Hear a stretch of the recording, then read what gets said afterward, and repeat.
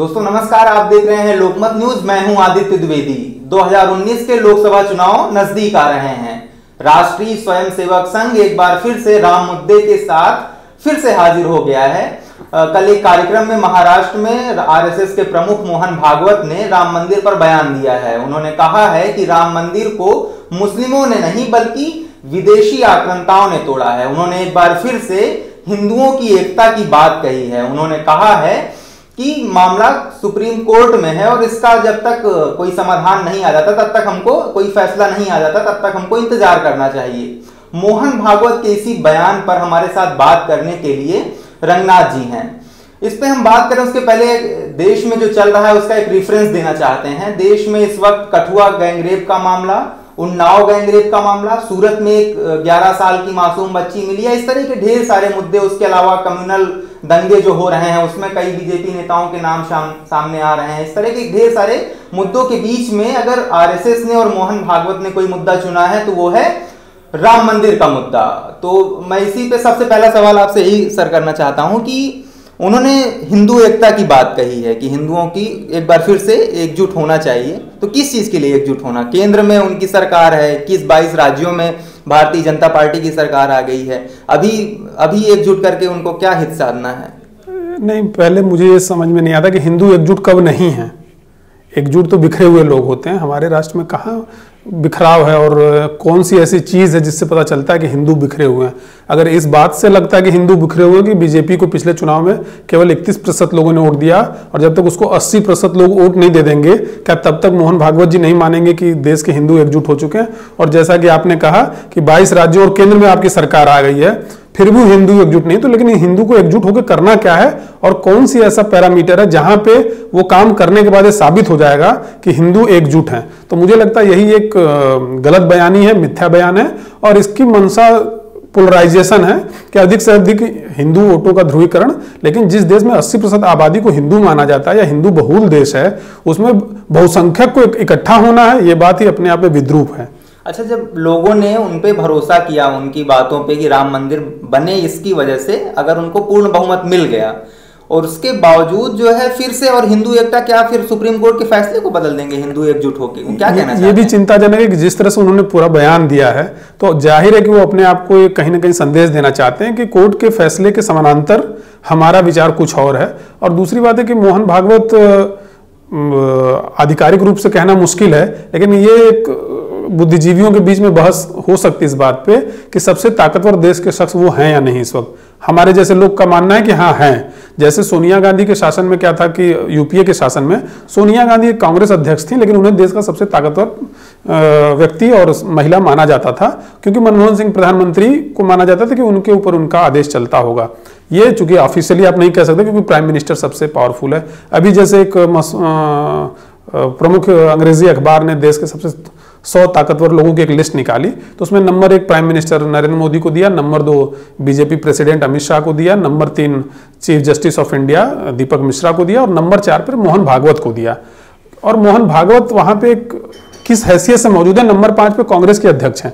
तो आप देखेंगे कि सारे संवैधानिक पदों पे बैठे हुए लोग हैं कि एक प्रधानमंत्री है, दूसरा देश की सबसे बड़ी पार्टी, सत्ताधारी पार्टी का अध्यक्ष है, तीसरा सुप्रीम कोर्ट का जज है, पांचवी जो है वो कांग्रेस के अध्यक्ष है, ऐसे ही है। लेकिन उनके बीच में एक मोहन भागवत है, जो एक तरीके से एक ऐसे संगठन के जिसका कोई संवैधानिक आधार नहीं है, वो एक मोटा मोटी एक एनजीओ जैसा संगठन है। और उस संगठन का अध्यक्ष जो है, वो इतना पावरफुल है और हम जैसे लोग को लगता है कि नहीं, वो देश के सबसे पावरफुल व्यक्ति हैं कि उनकी बात को शायद प्रधानमंत्री नरेंद्र मोदी आधिकारिक रूप से भले वो न कहें, लेकिन अनाधिकारिक रूप से हो सकता है उनकी बात न टाल सकें। तो ऐसे में जो उन्होंने पिचिंग की है, मंदिर की पिचिंग और जो बीजेपी का पुराना एजेंडा है बीजेपी के पास मूलतः जो उन्होंने अपना जनाधार बनाया, आरक्षण का विरोध करके और मंदिर का समर्थन करके जनाधार बनाया।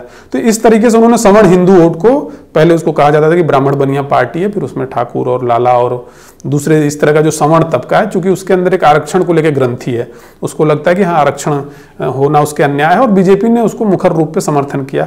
और आपको याद होगा बिहार विधानसभा चुनाव के समय मोहन भागवत के आरक्षण वाले बयान को लोगों ने माना था कि हार का बड़ा कारण है। तो एक उस ग्रंथी को उन्होंने सहलाने की कोशिश की थी वो पासा उल्टा पड़ गया। कुछ लोग मानते हैं कि भाई कैसे बयान दे दिया कुछ लोग मानते हैं कि जानबूझ के बयान दे दिया। तो जानबूझ के दिया चाहे लापरवाही से दिया लेकिन वो पासा अगर दिया गया होगा तो हो सकता है सवर्णों को यकीन दिलाने के लिए कि हम भी अभी वही बीजेपी हैं जो आरक्षण के खिलाफ है और अनाधिकारिक रूप से। चूँकि प्रधानमंत्री कुछ और कहते हैं गृह मंत्री कुछ और कहते हैं शिक्षा मंत्री कुछ और कहते हैं और पता चला कि बीजेपी का उधर से सांसद और विधायक कुछ और कहते हैं बीजेपी के अध्यक्ष अमित शाह कह देते हैं कि हम अ, लोकल नेताओं की बातों का जवाब नहीं देते हैं। मोहन भागवत की ताकत की अभी बात की इन्होंने तो मैं बता दूँ कि मोहन भागवत जब 2009 में संघ की उन्होंने कमान संभाली थी तो उस वक्त जो शाखाएँ लगती थी राष्ट्रीय स्वयंसेवक संघ की, वो देश भर में चालीस हज़ार थी। लेकिन 2017 के आंकड़े बताते हैं कि बढ़ के छप्पन हज़ार शाखाएँ हो गई हैं। तो उनके पास एक बहुत बड़ा कैडर है जो उनके पीछे काम करता है। शायद ये भी वजह हो, यही वजह ही है एक तरह से उनकी ताकत के पीछे। हम फिर से एक बार मोहन भागवत के कल के बयान पे वापस आते हैं। उन्होंने कहा कि पहली बार इस तरह का एक और बयान दिया कि जो मंदिर तोड़ा गया, वो मुस्लिमों ने नहीं तोड़ा, वो विदेशी आक्रांताओं ने तोड़ा। इसके पीछे का क्या कारण होगा? मुझे जो लग रहा है अभी इस बहस से ज़्यादा है तो चूँकि हम उनकी दी हुई बहस में उलझ रहे हैं, मूलतः मुद्दा यह है कि पिछले कुछ समय से ना, देश में जो सबसे बड़ा मुद्दा है, ज़मीन पे या सोशल मीडिया में और मीडिया में, वो है कि पूरे देश में नाबालिग बच्चियों का बलात्कार जो है बार बार मुद्दा आ रहा है। यूपी में, कठुआ में, रोहतक में, सूरत में, राजस्थान के बाड़मेर में, दिल्ली में मतलब कहाँ नहीं आ रहा है। और जब पूरा देश प्रधानमंत्री के ऊपर दबाव बनाया गया, मीडिया संस्थानों ने छापा कि प्रधानमंत्री का बयान आ गया है और उसके नीचे लिखा कि बयान अभी आएगा तो हम बता देंगे आपको क्या आया है। तब जाके प्रधानमंत्री ने एक बहुत ही औपचारिक किस्म का बयान दिया और लेकिन उसका जो परिणाम निकला, व्यवहारिक परिणाम निकला कि जम्मू कश्मीर के दो बीजेपी मिनिस्टर ने, सरकार में शामिल मिनिस्टर ने इस्तीफा दिया, जो इस्तीफा आज मुख्यमंत्री ने राज्यपाल को भी दे दिया कि हाँ एक्सेप्टेड है एक तरीके से। तो उस माहौल में जब पूरा देश नाबालिग बच्चियों के बलात्कार और उनकी हत्याएँ निर्मम हत्याएँ, एक उन्नाव को छोड़ के, और उन्नाव के भी केस में पीड़िता की तो हत्या नहीं हुई, लेकिन पीड़िता के पिता की हत्या हो गई, और पीड़िता के पिता को अभियुक्तों अब मुख्य अभियुक्त के भाई जो खुद अभियुक्त है, उसने उस उसके ऊपर मारने पीटने का आरोप है और आपको कोई मारे पीटे और आप ही को पुलिस में बंद करा दे और पुलिस ने उस आदमी को पकड़ लिया और वो जमानत और जेल में घूमने लगा और वहीं पे उसकी मौत हो गई। तो आपने उम्मीद लगा रखी थी कि गैंगरेप पे बयान आएगा? नहीं किसी को भी नहीं उम्मीद हमने उनसे नहीं लगा रखी थी। आप किसी भी जिम्मेदार पद पे हैं जब आप जितने आपका पद बढ़ता जाता है आपकी ज़िम्मेदारी बढ़ती जाती है। आप किसी भी संस्था में या किसी भी देश में।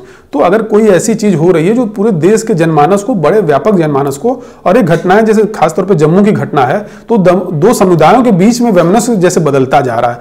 अब वहाँ पे हुआ कि भाई जो पब्लिक प्रोसिक्यूटर है वो पब्लिक प्रोसिक्यूटर अ, सरकार सिख रखेगी हिंदू और मुस्लिम नहीं रखेगी क्योंकि पीड़िता मुस्लिम है और अभियुक्त हिंदू हैं। तो अब ये लोकतंत्र के बुनियादी सवाल हैं कि क्या अब हम इस स्थिति में आ गए हैं कि जहाँ पे अगर पीड़ित पक्ष दो समुदाय के हैं तो उन दोनों समुदाय पे हम वकील और जज और वकील और इंस्पेक्टर हमको तीसरे पक्ष का रखना होगा।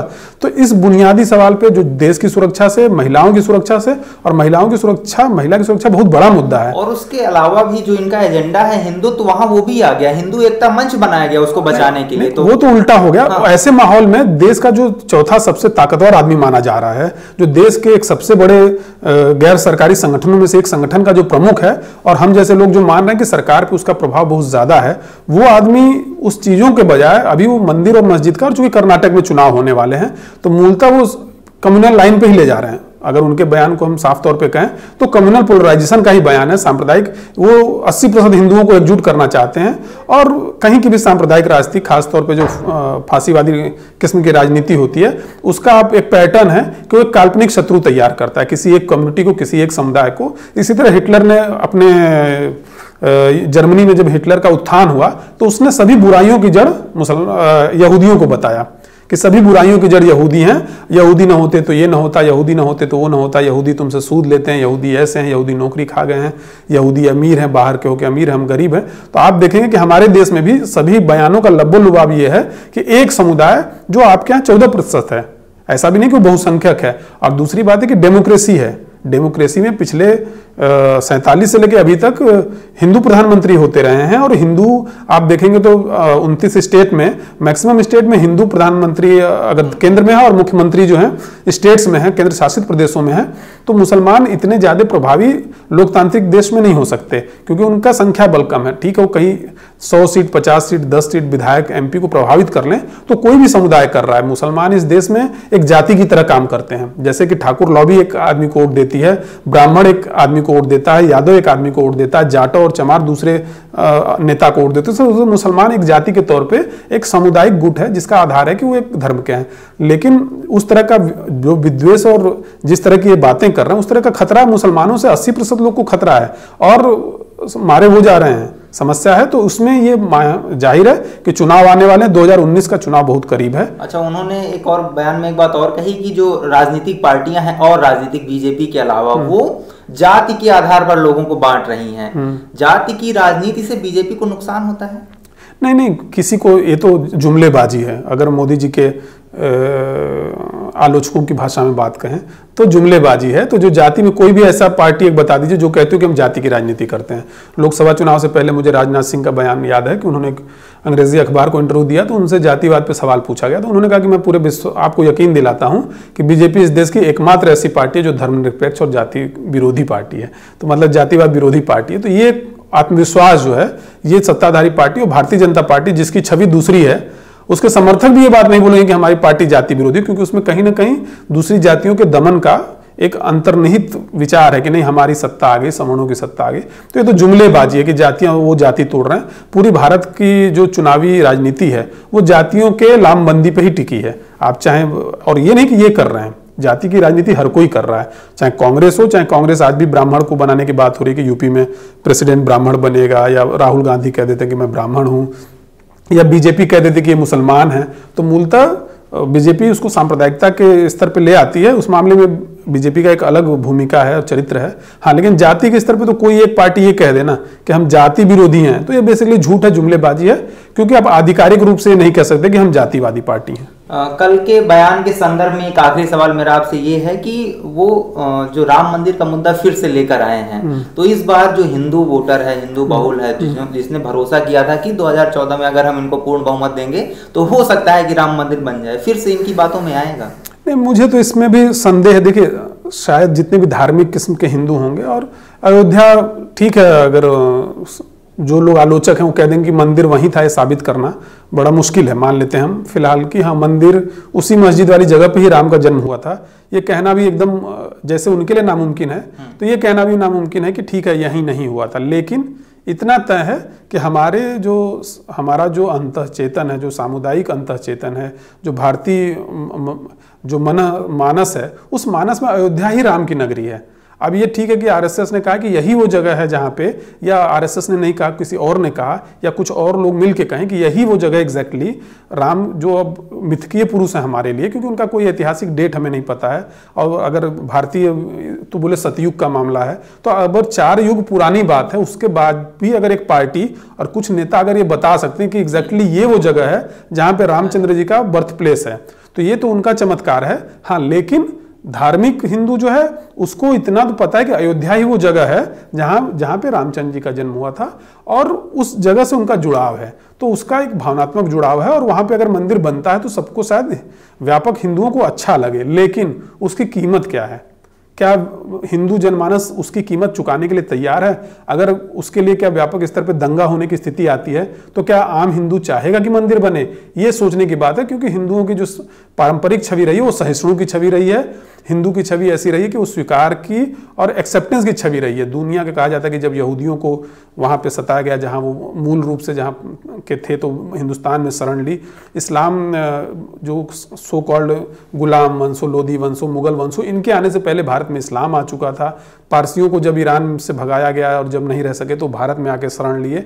तो दुनिया माना जाता है कि हमारा एक, और दुनिया का भी विश्वास रहा है मेजॉरिटी तबके का, कि भारत जो है तो विभिन्न तरह के लोगों की ना शरणगाह है, उसको इस, यहाँ पे सबको जगह मिलती है। तो इस इस, अब ये जो चार हज़ार साल का जो विजडम है, जो जो एक अंतर्निहित विवेक है, जो विवेक दिखाई नहीं देता है। तो अब देखना है कि क्या और हमें लगता है कि जैसे पिछले बार जब सुप्रीम हाई कोर्ट का फैसला आया था कि बराबर हिस्सों में तो उसमें कुछ तरह कोई हिंसक प्रतिक्रिया नहीं हुई। हाईकोर्ट ने क्या कहा कि उस चीज़ को, ज़मीन को तीन हिस्सों में बांट दिया। निर्मोही अखाड़ा को एक हिस्सा दे दिया, एक रामलला विराजमान को दे दिया और तीसरा हिस्सा मुस्लिम पर्सनल लॉ बोर्ड को दे दिया। कोई हिंसक प्रतिक्रिया नहीं लोग गए सुप्रीम कोर्ट में। हाँ लेकिन यहाँ एक राजनीतिक पार्टी है और दूसरी तरफ़ भी वो राजनीतिक लोग हैं। उनको भी उससे एकीकरण करते हैं वोटों का और उससे फ़ायदा होता है, बीजेपी को इधर फ़ायदा होता है। लेकिन मुझे नहीं लगता कि इतने बड़े लेवल पे, और हाँ बीजेपी के पास वो एजेंडा है, बीजेपी चाह रही क्योंकि ध्रुवीकरण ही उसका एजेंडा है। पिछले कुछ महीनों से जो माहौल बना और अभी जो माहौल बना महिला सुरक्षा का, कि महिला सुरक्षा बहुत बड़ा मुद्दा है। आपने जैसे खुद ये स्टोरी की थी कि हाँ अब की बार बहुत हुआ नारी पर बार, अब की बार मोदी सरकार जो इनका नारा था निर्भया के बाद, और लोग सड़कों पे उतरे थे और उनको लगा था कि हम सुरक्षा दे सकते हैं बहु बेटियों को सुरक्षा दे सकते हैं। और हमारे सामंती समाज में, तीसरी दुनिया के देश में बहु बेटियों की सुरक्षा आदमी को बहुत गहरे तक छूता है।